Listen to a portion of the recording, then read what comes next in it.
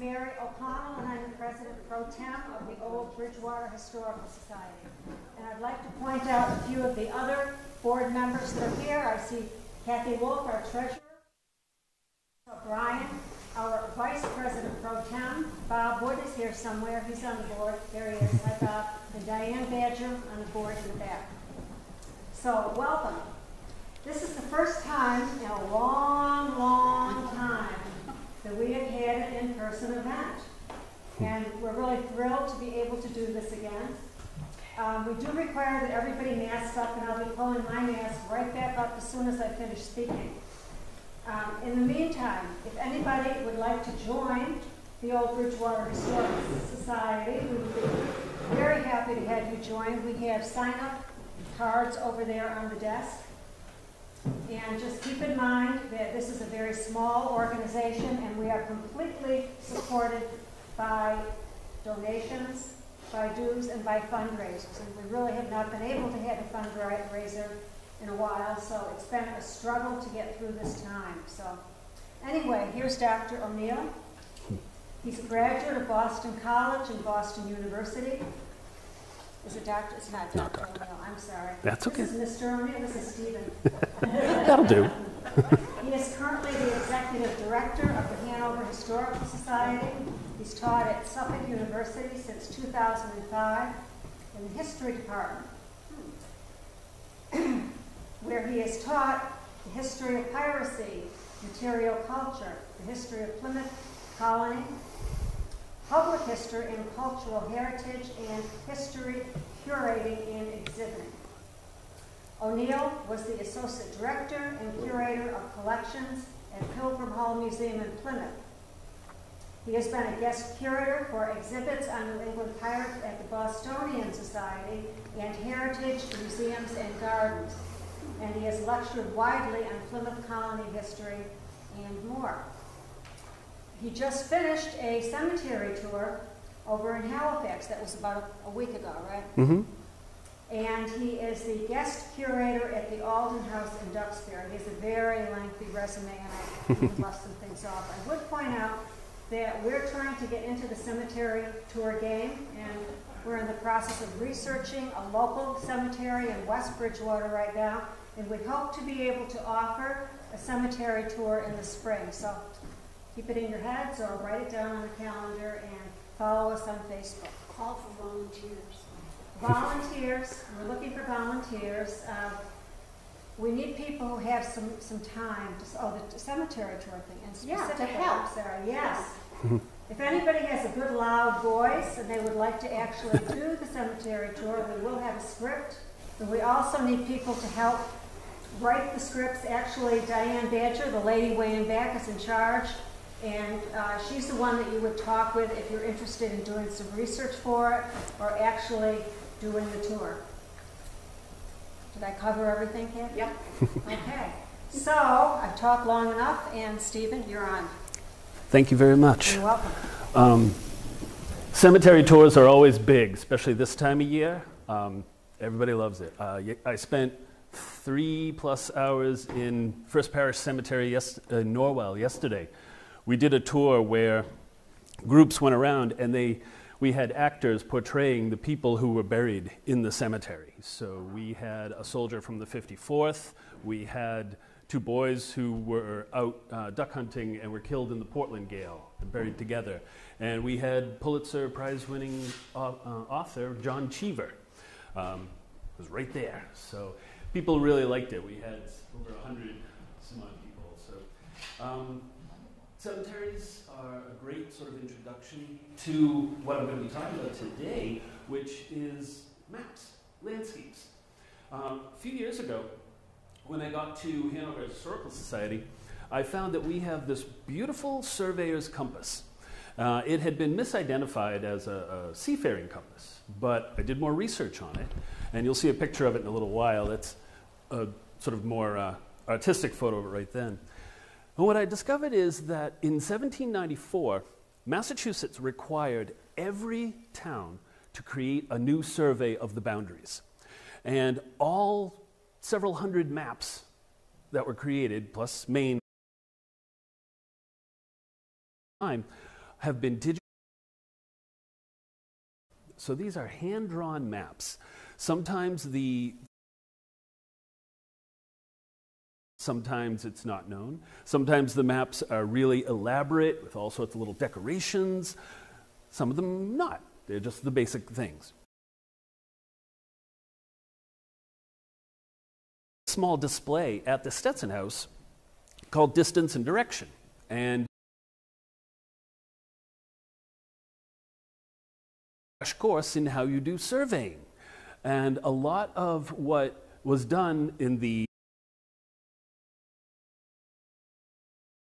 surveys were originally done for properties. Um, and the 90s, the survey we'll talk about today, they still, what they did is still with us today. When we buy property, we buy it in acres.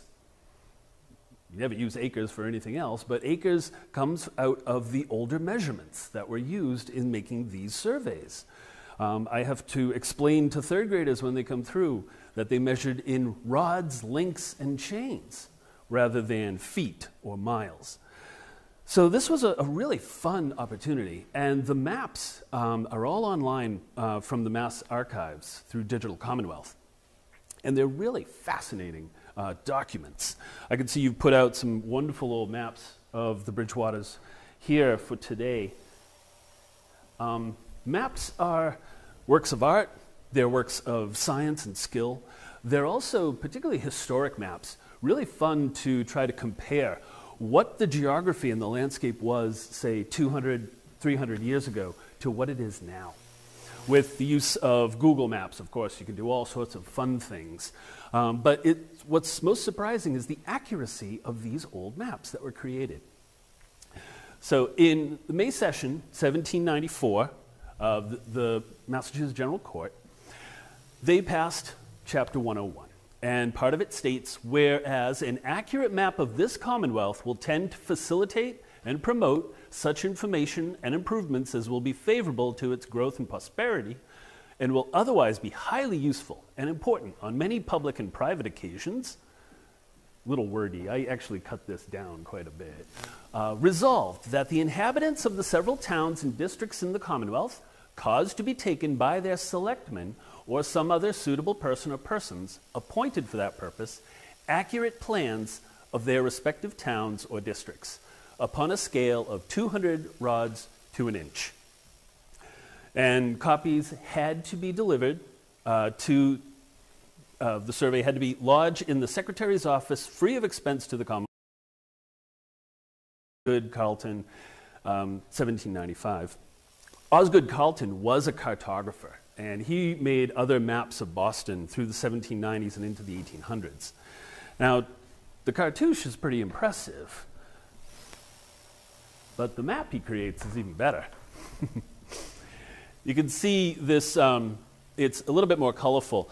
You can see he has outlined Boston proper up here, and then outlined all the islands in the harbor and going over up towards Chelsea that were part of the city of Boston at the time.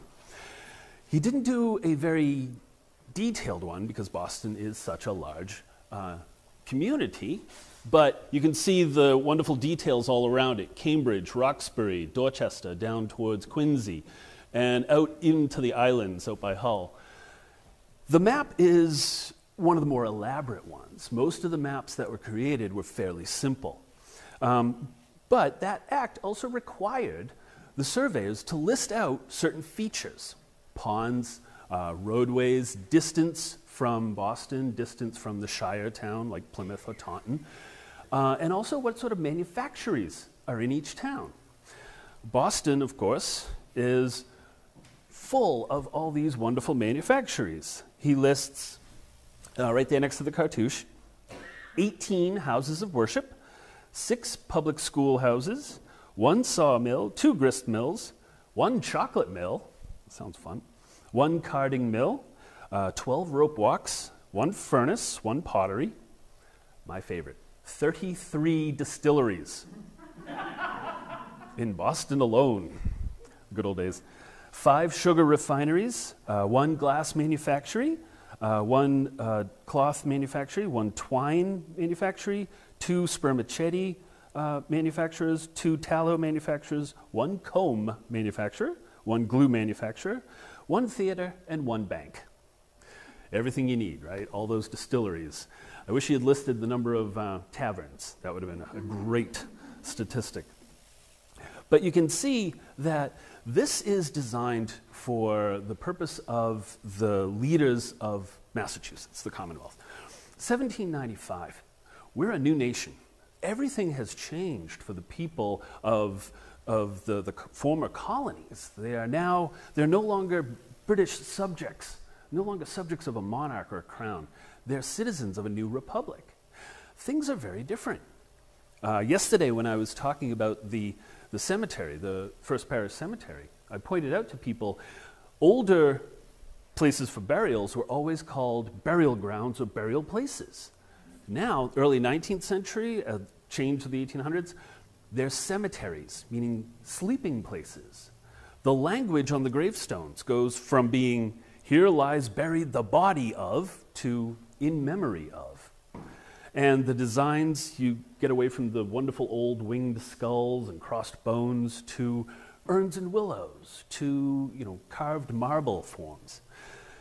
And this is just cemeteries. The revolution changes everything decorative arts, the economics of Massachusetts, and of all the other towns. So these new surveys uh, are undertaken by every single town in the Commonwealth.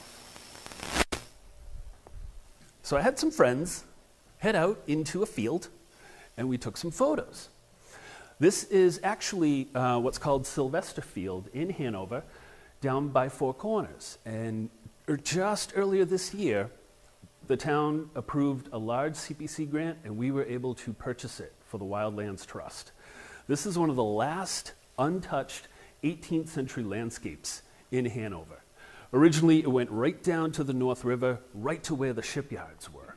So, this field uh, is basically the last remaining really untouched spot that shows what Hanover was like for the first 200 years. And driving, you know, through the Bridgewaters today, you can see where there are still the old farms. You can still see where the older roads are, or where the, the modern roads have straightened the, the, these older roads. So, using the geography and using these maps is a wonderful way to find out the layers in the geography itself. Um, these guys were having a great time portraying 1790s. Now, surveying had been around for quite some time. Of course, you know, going back to ancient Rome, for the, Ameri- for the colonies, the one of the most famous surveyors was a very young, late teenage, early 20 something George Washington. His first job was to go out and survey properties in Virginia. Um, the most famous surveyors, Charles Mason, Jeremiah Dixon, laying out the Mason Dixon line, the boundary between Pennsylvania and Maryland below it, which then becomes very famous during the Civil War. But they were doing that in the 40s, 1740s and 1750s. Um, uh, and then the 1760s, Lewis and Clark, same type of technology, use surveying equipment when they head out on their expedition throughout the Louisiana Territory uh, from 1804 to 1806. And what they're using is something like that. That's the surveyor's compass in the collection at Hanover. It's really a fantastic um, little piece because it was made by John Bailey. John Bailey lived in Hanover. Um, his father was Colonel John Bailey, um, who was the head of the Massachusetts Second Regiment throughout the Revolution. Now, John Bailey II was a clockmaker. He made the works, he did the engraving, and he hired all sorts of people to create the cabinetry for these wonderful tall clocks. John Bailey clocks are in a lot of museum collections. They're in um, uh, I have one in the Stetson House, the Hanover Historical Society. So they're really fascinating. Bailey was also a bit of a tinkerer, like a lot of people in the, right after the Revolution, because the biggest trading partner, England, is no longer trading with this new nation. Americans get very inventive. John Bailey creates a little steam powered machine to turn meat on a spit in front of a fireplace. Uh, the original patent, uh, the, the, forms uh, were burned in the patent uh, library fire in the early 19th century, but his original model is in the Smithsonian. Uh, and you know, you can just imagine here's this clockmaker trying to make this little steam engine to turn meat on a spit in front of the fireplace. Pretty inventive. Now, Bailey is known for hiring several of his brothers, several of his sons. His son, John Bailey III, will become a clockmaker in himself uh, in his own career down towards New Bedford. This one is actually engraved right on the face John Bailey, Hanover. So you can see it's kind of fascinating little piece that led to this story about looking at all of these old maps. Um, Bailey also, rather interestingly, was a Quaker. He was a member of the Society of Friends, and he's buried in the um, Quaker Meeting House uh, burying ground over in North Pembroke. His son actually was evicted by a Society of Friends because his son, who was also a Quaker, was casting cannonballs during the Revolution. So Quakers are pacifists, and they took that very seriously. So, to do this measurement, to measure out all these boundaries, a lot of the towns already had sort of rough maps or descriptions, but some of the old deeds 18th century. You've got directions like go four degrees west to the pile of stones, go five degrees south to the big red oak tree. It doesn't help us nowadays, but this was how a lot of these original properties were defined and laid out. Now, using a surveyor's compass, they could find the right direction but they had to have landmarks. So oftentimes there are still boundary markers out uh, on the boundaries between towns. Um, one of my board members is actually one of the few people left who knows where they all are and is actually required to go out and mark the bounds, walk the bounds of the town. These markers were sometimes noticed in the maps, sometimes noticed in some of the other deeds and prop- property um, titles at the time. But you have to imagine that they're doing this. They're writing the map, at the, drawing the map at the same time, and then they have to lay everything out. So you've got to measure all of this. So somebody has to pull out a chain. This is the unit of measurement. And on the right is it is a measuring chain developed early 17th century. Um, a chain 100 metal links,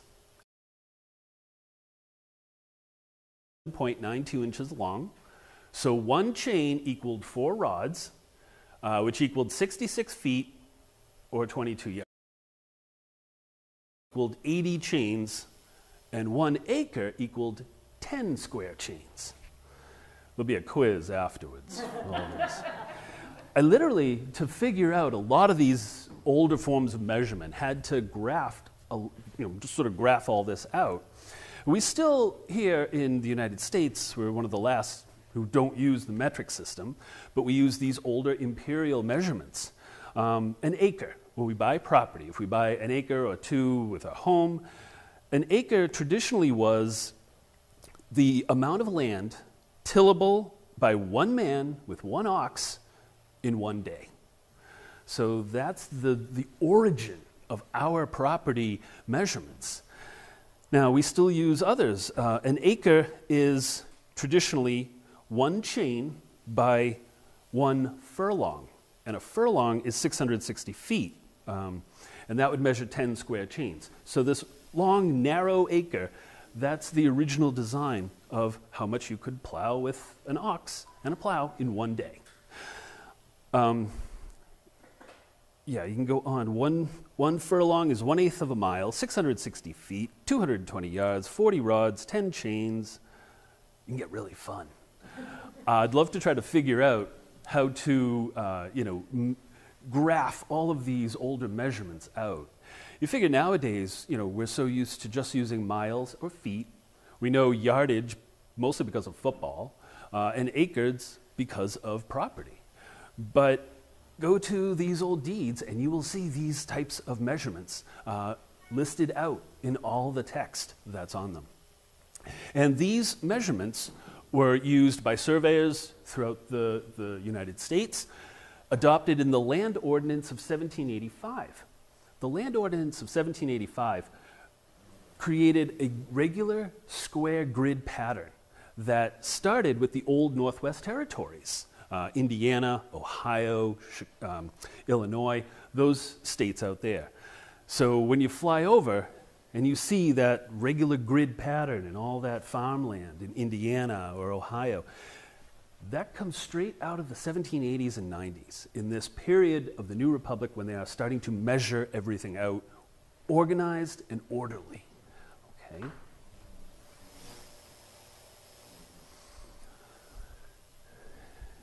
And as you can sort of see here, using those chains, boy, once you get a knot in them, forget about it. It's, it's rough work.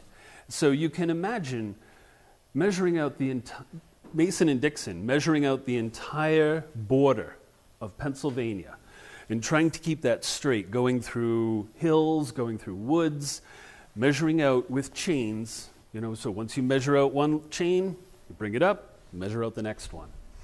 It's long, it's tiring work. Uh, even to do the surveys of the towns around here.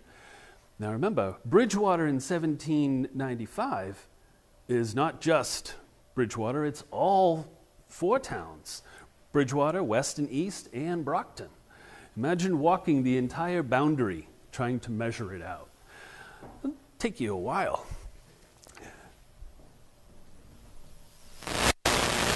Hanover's a little smaller.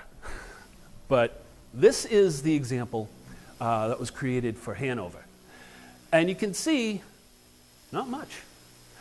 What you have on this, and these, these are not big. I mean, these maps are you know, just a little bit larger than a standard piece of paper. So you can see here's Hanover, uh, Pembroke to the south, the Historical Society.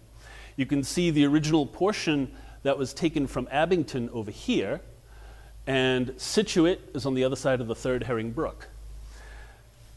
Pretty basic, pretty straightforward. Um, some of the others for towns like Scituate have a little bit more information, uh, you know, details drawn in them. I've spent hours going through these maps to see, you know, how different the landscape might be from current landscapes. And these are fascinating. Hanover, for instance, I mean, we still have the dams at the same spots on the North River and on the Indian Head River. We still have the locations of dams where the grist mills were on Third Herring Brook, um, where the forges are. Hanover and a lot of the other towns around here had iron furnaces, forges. Um, blacksmithing was a big industry in this area. Um, Hanover had shipbuilding. There were 11 shipyards in the North River. A friend of mine uh, recently bought a property that was one of the old shipyards, Barstow's Two Oaks and he's pulled up all sorts of bits of iron, including a six foot pit saw, um, still intact. So, this is the sort of perfect example of what these maps were like when they were created. As you can see, it's pretty basic, but the boundaries are very precise. The dimensions are almost perfectly um, compatible with the modern boundaries if you look at a modern map of Hanover. So that's what's really amazing about the work that was done. You know, when you think you had to be out there and you had less than a year to sort of get this done, see he's waving. And these aren't professional surveyors or professional cartographers. Most of them are self taught just like Washington, what they would do is they would buy a book on surveying. Uh, there was the Complete Surveyor's Manual from 1670s. There was another one called Geodesia, um, published in the 1760s. So you get a copy of that, and it explains how you do surveying. And that's how they taught themselves. You know, today when you drive around, you see the surveyors out on the side of the road. You know, I really want to stop and bring out the surveyor's compass, and it's probably not that much different. I have a friend who teaches surveying and geography up at UMaine Orono, and he was saying the same principles are still used when you're out surveying. Uh, the same basic tools. The surveyor's compass is actually called a circumferentor, which is a really fun term. Um, but the same principles of direction and distance are being used when we lay out maps today. Now, here is the map of your beloved Bridgewater. It doesn't look very impressive on first sight, but it is a fantastic document that really gives you a sense of the history of this town, these towns in the period. Now, the surveyor's name is not given, and it does look like it's been sort of patched up over, the, over time. But, and it's, this photo right here doesn't show how, you know, uh, clearly the lines are delineated. But this is a perfect example of a snapshot of a Massachusetts town from 1795. And you can, we'll jump in a little close here. The writing is pretty good. A plan of the town of Bridgewater, um, taken pursuant to an act of the Commonwealth of Massachusetts uh, by the selectmen of said town upon order of the selectmen, per order Beza Hayward, one of the selectmen. Uh, Hayward's an old, old name in this area. Um, so you can see, still got some Haywards around. Um, it's, it's really funny, the, you know, all these towns around here, having worked in Plymouth, uh, in Pilgrim Hall Museum, and having worked in Hanover, it's funny how often the, some of the families who showed up 1640s never left. They're still here. Um, and it's great when that sense of history comes through because you can look back and see and know exactly who the people were who were doing this work. Um, I wish Beza Hayward had written down uh, who did the survey because that would be a great uh, detail to know. Now, they included small details and facts on these maps. Now, this is the detail from the Bridgewater map.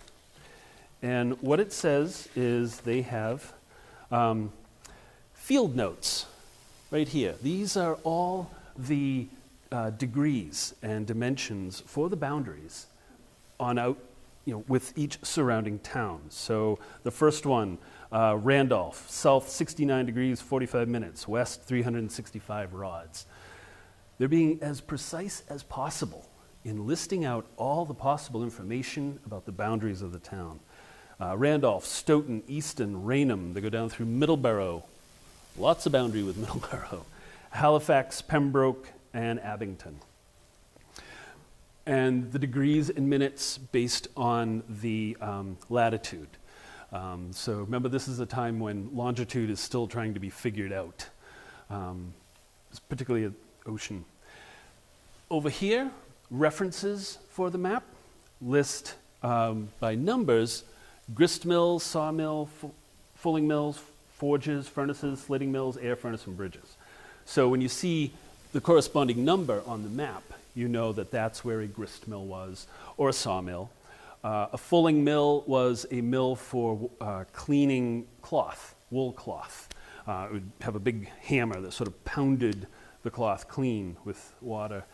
Um, furnaces, slitting mills for processing iron, an air furnace, and then the bridges. And reputed distance from the center of the town to the metropolis, Boston, 28 miles. Ditto to the Shire town, Plymouth, 18 miles. Shire town being the seat of county government, um, which was Plymouth at the time. So 28 miles up to Boston, 18 over to Plymouth. The basic distances. And these were what were required on these maps. But now, let's look at some details.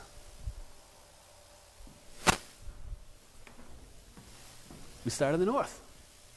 Here is the North Meeting House and Furnace Brook um, with the town brook above it. And you can see a couple of the numbers for the various mills in the area. So the North Meeting House, this is downtown Brockton. Uh, and you can see the, the Bridgewater map is really fantastic because I was trying to trace out some of the old roads, and these roads, we still use them. I drove on a couple of them coming down here. Um, so you can see what is most important the meeting house. Now, one of the things to remember about the landscapes, particularly of these towns in the 1790s, is they were a lot more open than they are now, a lot more fields than trees. We tend to forget about this, but if you look at pictures, even up, uh, you know, from the 1890s, 1900s, it's pretty open. You know, you can see good distances. We don't have that anymore. You know, the, the roads are so, you know, grown, uh, you know, the trees have grown back so much in the past 150 years. So this was open territory, open country. So the meeting house steeple was a recognizable landmark, you know, for miles around.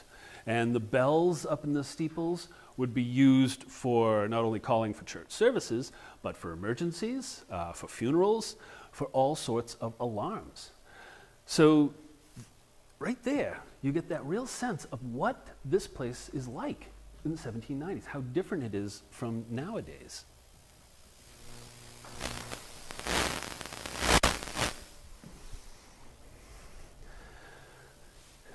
Here is the West Meeting House, uh, along with the Baptist Meeting House over here. Up there, the Powder Magazine. Powder magazines were built in most of the towns uh, in Massachusetts for housing the stock of powder, muskets, flints, everything that the local militia would need. And you can see in this one, uh, Magazine West Meeting House, Baptist Meeting House, the Town River, right here, and the Episcopal Meeting House.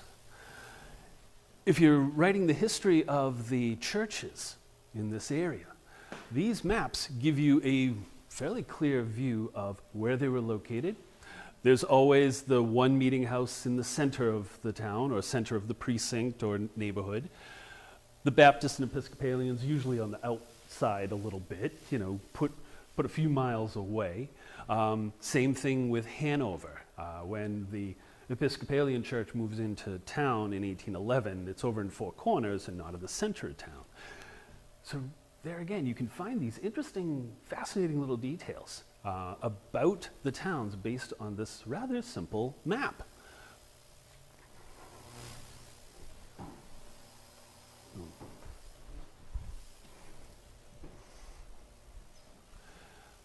Oh, here is the um, South Meeting House? East, yep, East Meeting House. And you have Satucket right below it. You have the Marshfield River here, uh, as well as Forge Brook. Uh, the Plymouth Road down here. It's funny how the names of some roads have stayed the same. Plymouth Road, Plymouth Street, um, road to whichever town. We still have Hanover Street and Rockland Street in Hanover. These simple details, uh, you know, like I said, they're still with us today you know, from this time period. So, East Bridgewater, West Bridgewater, we did North Bridgewater, and down in Main Bridgewater, You have the South Meeting House, right in the center. Overlaps with the Episcopalian Meeting House up there. The Town River, Plymouth Road, Great River over here. Um, the South Brook, and the road to Middleborough and New Bedford. I think it's um, really interesting that they label that road the road to Middleborough and New Bedford because New Bedford is still a very young town at this time. But in the 1790s, it is growing in importance and popularity because of the whaling industry. Bridgewater has iron forges. Their iron is being sent down to supply the whale ships out of New Bedford, and Middleborough. So you can see the tracks of the roads, and they took really great care in really trying to be as accurate as possible with these roads. Now, when you think about it, 1795, most people are walking, uh, or they're riding in an ox cart, or if they're lucky, they have a horse with maybe you know, a couple of horses with a couple of carts or wagons or carriages. you know, we might want to think of the big romantic, you know, big carriages, but very few people would actually have those. Well, most of your travel is done walking or ox cart or a simple one horse carriage or one horse wagon. A lot slower pace than today. I recently had restored at the Hanover Historical Society two of our 19th century carriages. And, you know, these beautiful, a beautiful Surrey and a little doctor's buggy. And just pulling them around, you get the sense of how much, much slower um, travel was, even in the 1790s. You know, we think, you know, we think nothing nowadays of, oh, I got to drive to Rhode Island. Yeah, okay, I got to drive to Maine. You know, remember, so when you think about the lives of people at this time, think about how much more of an effort it was to travel. Uh, my wife took my son this morning to go down to Mystic, Connecticut. Yeah, no problem. But 1790s, that would have taken a couple of days if we were walking, if we were lucky. People were still traveling by boat most of the time. For an inland community like the Bridgewaters, farming is the most important industry, but you've got to get your farm goods and manufactured goods to a bigger metropolis, right? That 28 miles to Boston, it takes a while if you're on a cart or walking a horse or an ox. So when you look at these maps, they really give you a sense of, you know, not only the history, but how different things are nowadays uh, from what they were like 100, or 200 or 300 years ago. Waterfront property has always been important, so they always put in the ponds. This is Nippenicket Pond, uh, reputed 1,000 acres, uh, right in the corner of Bridgewater, right next to the Raynham line. Um, you can see, it says, let's see, Nunkatasset Pond, Nippenicket Pond, reputed 100 acres uh, and with one of the other roads coming right in here. Ponds, of course, are important for as water features of the geography, and rivers with bridges. That's why the bridges are always identified, they are always marked. You can see here is Titicut Bridge down here along the Titicut River. There's Woodward's Bridge uh, and Child's Bridge up over there. And there's the road to Middleborough and New Bedford going down that way. And Sawmill Brook. Sometimes they didn't get very creative with the names. Forge Brook, Sawmill Brook. Up on the North River, we have First Herring Brook, Second Herring Brook, Third Herring Brook. they didn't even try to come up with a good name. But when you think about it, it's what's the, the importance? Obviously, the herring were very important along the North River. The forges, the sawmills, and that is those local associations are what gave the names to some of our physical features in the geography around here. Um, someday I would love to sort of do a comparison of, uh, you know, walking down a road versus riding a horse versus, you know, riding a car now. When you see all the traffic on like a, a Saturday or Sunday afternoon like this, and try to imagine what it looked like 200 years ago, before cars with one little carriage walking, you know, being walked down the street. So, here is the one. This is Robbins Pond, reputed 300 acres. Um, and it's, it's funny how they do the reputed 1,000 acres or a thought to be uh, 300 acres. And you see this on other survey maps of the period as well. It's, it's funny, I, I almost, it's almost like they produced some form of template that all these surveyors were using in towns all across the Commonwealth. Because a lot of them have the same um, labels, the same terminology, the same sort of designs uh, that you see in this one. Now, what's great about these maps is, like I said, they're all online and they've been scanned at huge sizes. So you can pull up the, so much detail, you can even see this, the pattern right there. That's the pattern in the paper itself from the chains when the paper was, was made. Um, I haven't been able to see any of the watermarks on the paper yet, but hopefully we'll find some of those. Maybe you can identify where the paper came from. These extraordinary maps, uh, you know, they're, they're paper and they've been mounted onto linen, uh, so they have been preserved. But when you think about it, they're really, uh, it's amazing that they have been preserved up at the state archives. They are, you know, part of the history of the Commonwealth in this area. They're also great indicators of just how much our geography has changed. Um, you know, Hanover itself used to be nothing but a bunch of dairy farms and a bunch of horse farms uh, in the early 20th century. Uh, there's one story, uh, a lady in town said she and her little brother used to sit on the front step of their house on Main Street on the off chance that a car might drive by. And that's the early 40s, um, you know, during, during World War II. And Hanover, Pembroke, the town uh, where I grew up, you know, I can remember in the 70s, you know, half the time coming down West Elm, the Peterson's cow would be in the middle of the street, you know, so you'd have to go up and knock on the door, and the kid would come out and, she in the road again. Um, and out here in Bridgewater, you're fortunate, you still have a lot of these old farms and farm areas. And they're really, you know, starting to disappear in a lot of places. Um, we, that's why we were so lucky to save Sylvester Field uh, there in Hanover. It's basically thanks to the lady who lived next door to it in 1956. She bought the property with the intention that it would be preserved and never built on.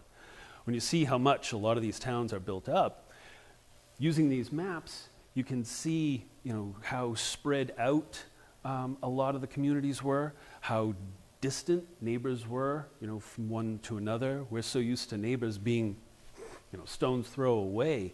Um, and with these maps, you can really get the sense of this was an agricultural area. Most people were farmers, um, and with all that that entailed. There were the small industries, um, but you know, in the 19th century, all that would change, as we've seen.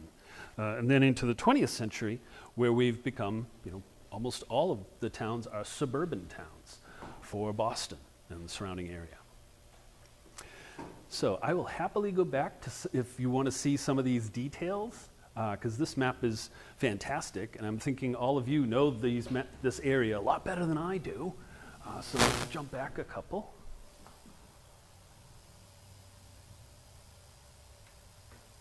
Yeah, here we are. So this is that's the the West Meeting House. Um, so was that located? Um, right around here, correct? Yep. So you can see we're right along the river. Um, so we're what? Right about one of these two bridges where we are right now? Between the two, Between the two? yes, and I'm closer to the main, main road. Mm-hmm. What would be a fun project is, like I said, taking these maps and you know, overlaying them uh, on a modern map uh, to see, you know, if things ha- have changed, if the meeting houses have moved, uh, you know, the location of the churches, or if some of the, the forges are still there. Yes. I'm just curious, I don't know anything about surveying. What, what did they use to actually draw all the property lines? Is it like red ink that I'm looking at, or? Oh, it's, uh, it's actually brown ink. Um, ink in the 18th century uh, could, was often, uh, you'd have a powder, um, sometimes made from oak galls. You know those little puffy little paper balls you see in the woods? Um, you take those, and those have long been used, you soak them, and that produces an ink. Uh, and you can add a little bit of like metal filings to it to make a dark brown or a dark black ink. Uh, ink was often powdered at the time, so you'd use a little um, metal nib and you'd have your inkwell. Paper would be mostly imported, but the 1790s, once again, in that period when things were changing, uh, Crane and a few other printing um, or paper makers started to appear throughout the, the, throughout the United States. So, yeah, they brought out a lap desk and they would mark off everything as carefully as possible. Um, ink would probably get everywhere. I often have, when the third graders come through Stetson House, I have them try to write with a quill pen. The ink gets everywhere. It's great. It's all over them, too. Um, and, you know, very few, very few of them know how to do ha- their name in handwritten, handwriting, you know, cursive anymore. Any other questions? Yeah. Thank you. So as you pointed out, it's pretty arduous task to, uh, do the surveying, it's pretty impressive. And also you point out it's fairly accurate, but you know, there's some cases where, where it's not. I think one example is the, the uh, county line, right? So the island board, the bound brick between Plymouth and Boston, I think that our county. A little bit, to my understanding. Yeah. Um, so my question is, it must have been between towns, there must have been some, how smoothly did the process go? Did everybody say, oh, here's exactly where my, my border is with you? That's actually a great question. That's probably the next step. Is you know because obviously you have to work with the neighboring town with the boundaries, uh, and there are cases well into the 19th century of towns you know going to court over boundaries. Um, uh, I know Hanover had a couple squabbles with Abington for a while. So that's the next step is seeing, you know, comparing these, these boundary maps, these surveys with the town records, with the court records. You know, was this a cause of contention? And a lot of, t- I mean, the, the property is so valuable, and particularly, you know, at the time, things like salt marsh, they were always going to court over salt marsh and hay marshes. Um, so I would imagine there'd be a lot of squabbling between the towns, particularly among the selectmen. That's a great question. Was there another one in the back? My name is Bob Wood, and I do historic deed research Oh, nice. since 1994. Mm-hmm. And I work for a lawyer at Plymouth Registry of Deeds Mm-hmm. for six years, two days a week, nine hours a day Mm-hmm. to do that. It's important for you people that have property, is to take your property dimensions on there and start at one point, follow the drawing around your property, and make sure the points come together. My deal, if they came almost together, it was fine for me, I would say, go see a surveyor. I have a property down in Bourne that we had difficult, potential difficult with neighbors next door. So I ended up having our survey and markers put in that are visible, not the iron rod in the ground that you have to get a magnet to find it, but a stone that you actually can see. Luckily, both properties turned out fine, got a brand new neighbor, built a house last year on what was, took down the old house, it was, it was gone anyhow. But I worked for the National Air and Space Museum, Smithsonian, as librarian. But in the process of dealing with people around, they'd take a trip, come back with a map of where they went. I have a file cabinet right now, full of maps of all over the United States. And some in Canada, and some, I went to Moscow, got a city map of Moscow and St. Petersburg. That's in the drawers now. But doing deed research is very interesting. Uh, The assessors were assigned to a friend of mine, Bill Bassett, uh, request payment of taxes on a piece of property off uh, Vernon Street, between Vernon and uh, Pine. It's two acres. And they kept saying, he kept saying, it's not mine. No, it's not mine. So I did. I went back to the census, found a Bill Bassett, because Bill Bassett, the original Bill Bassett, came over either Mayflower or one of those other ships and came into Bridgewater, and you see Bill Bassett. So it's probably that family, but I lost him from, I found them in nineteen twenty census, lost them in nineteen thirty, haven't gone back. So I know it's, it's not my Bill Bassett. That, uh, but it's been interesting doing deed research for Richard for all these years, and as I say, I've been doing historic deed research, looking at properties, somebody says, how old's my house? Well, I can't tell you how old the house is, except for my father-in-law's house. The lot was sold in eighteen seventy-eight, and it came out of Bates Hyde Cotton Gin Manufacturing, that, uh, ended up on Pearl Street from there. And the 1890 1879 map of Bridgewater has a house on it, drawn out. Not with the barn attached, the barn was down in the backyard. And it probably looks the same as it today. Yeah, the, the deeds, um, when I worked at Pilgrim Hall, Pilgrim Hall had the other Bridgewater deed, the other copy of it. Um, so we had that conserved many years ago. And that wonderful description of, you know, from this river to this tree to this uh, pile of stones, and for the, you know, the couple of coats and the axe heads that yeah, the Massasoit Ousamequin's you know, sold this whole property for.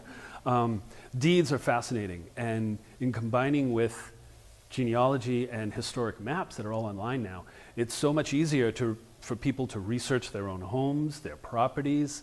Um, a lot of people in Hanover, and I can imagine here, you know, they'll move to town, they'll buy an old house, they want to know who was there. And those, those eight, the 1879 atlas of Plymouth County, the 1903, uh, the Sanborn maps, maps are incredible for the information that they can really convey uh, when you s- start looking at them so closely. Um, and then combining them with the deeds, with um, modern deeds.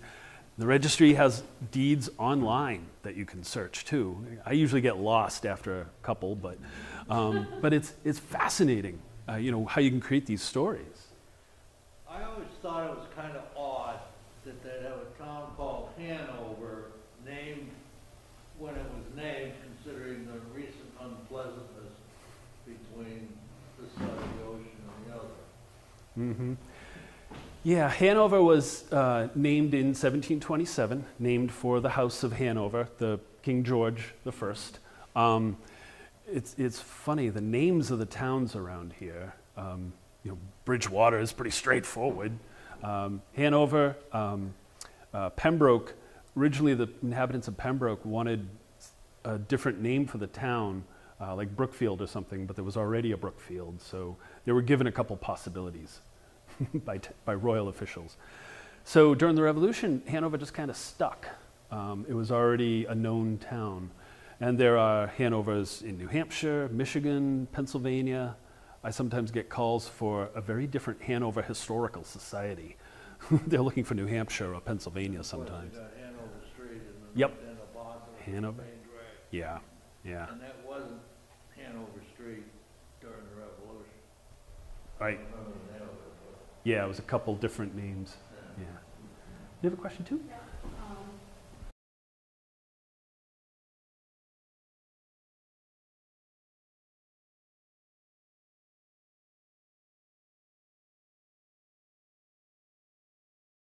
First, I want to make a statement and then I have a question. Okay. Um, we went over to, it was yesterday, right? That we went, or the day before, that we went Saturday. over, Saturday? No, Friday, we went Friday. yes. Okay. Um, OBHS, where you are right now, had the opportunity to acquire the 1857 Plymouth County map. It's six feet by six feet, and it has, um, segments of it are, portrayed as community town centers, and they actually list who owned each house at that point in time. Mm. So if you wanted to see a fantastic map, it's in color, it is um, at a level that you can actually take a look and closely see each of the communities in Plymouth County.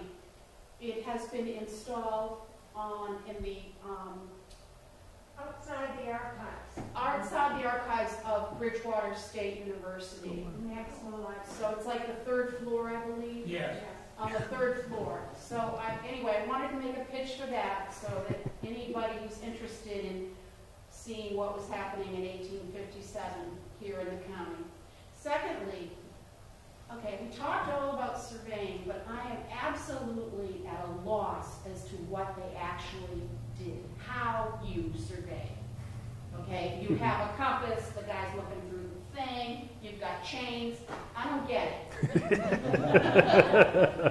Okay, can you explain? Sure, sure. It's just like the gentleman was saying.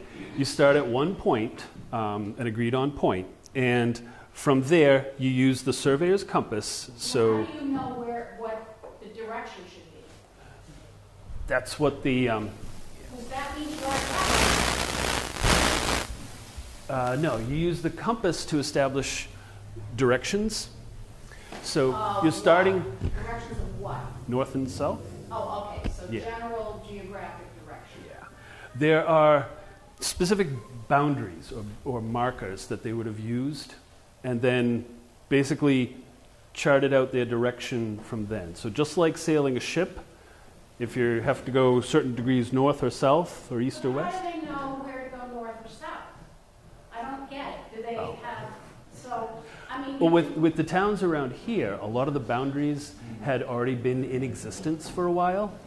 So corners were marked, and they just moved from the corner to the next corner, following the uh, descriptions in deeds. Okay, so they have a deed, Mm-hmm. and they have to do, pull out, figure out where all the deeds are, patch them together in a, some kind of chronological order, in order to go zigzag, zig. And a lot of the, a lot of the Plymouth Colony records, a lot of the town records, at least half of them have to deal with property lines.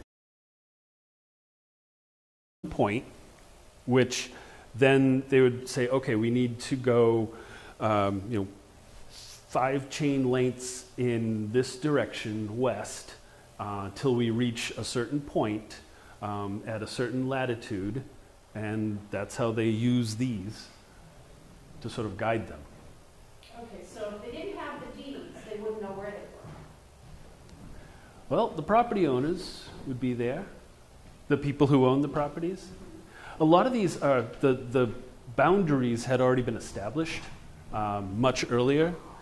So basically, what they're doing is creating these survey maps based on property lines that had already existed for decades.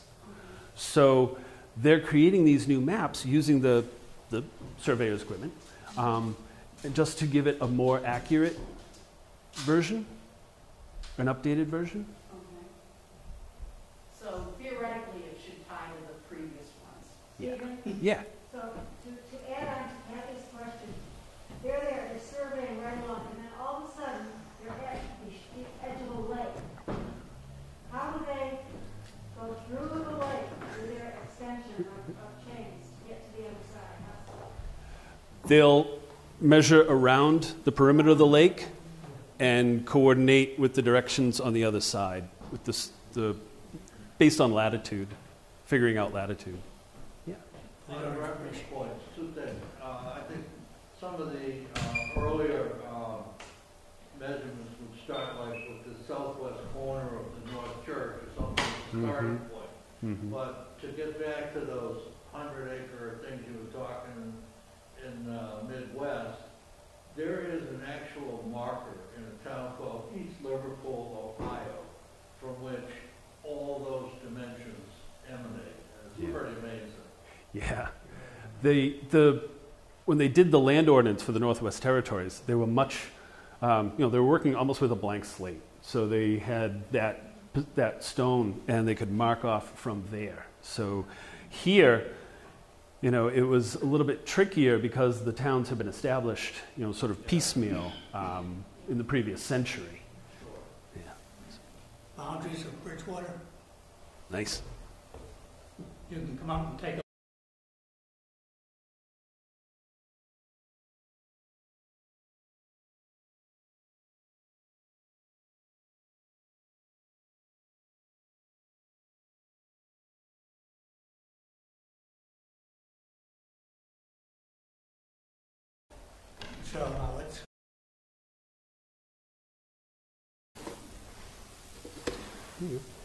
Yeah. Is, still required by most towns in the Commonwealth to this day. Uh, sort of almost like a ceremonial thing. You go out and you check where the old boundaries are, those markers on the corners that mark off you know, separate divisions of the towns. So, well, thank you all very much. I don't want to keep you inside on a beautiful day much longer.